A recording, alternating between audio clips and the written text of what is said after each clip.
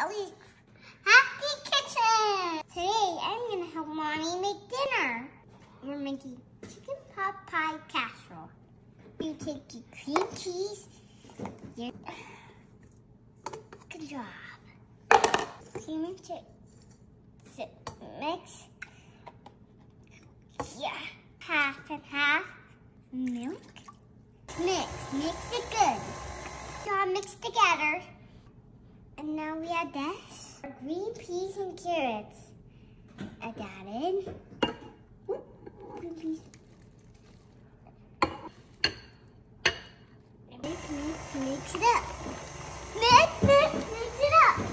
Now cooked chicken. No more. Actually, uh, no. Oh, it. It you turn on the mixer again. A little bit of pepper. So, I'll add it to the 39 pan.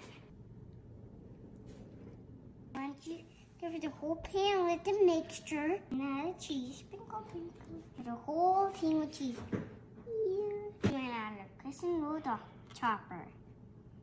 The dough. This dough. The topper. Covered whole top with a crescent seat sheet. I'm gonna proceed the oven to 350. Cook it for 30 minutes. Or it's golden brown. Once it's golden brown on the uh, top, we're going to take it out of the oven. Cool for two minutes and enjoy.